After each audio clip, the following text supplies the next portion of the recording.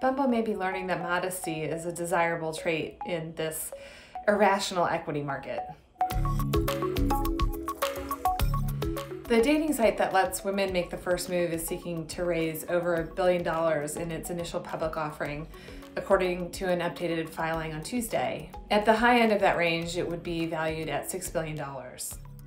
Including debt, that puts its enterprise value to revenue metric at a pretty steep discount to its big rival Match.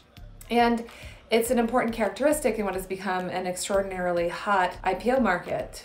Bumble's casual household name, along with its moderately priced stock offering, is likely to attract many a suitor in a market where investing logic has been replaced by sheer impulse.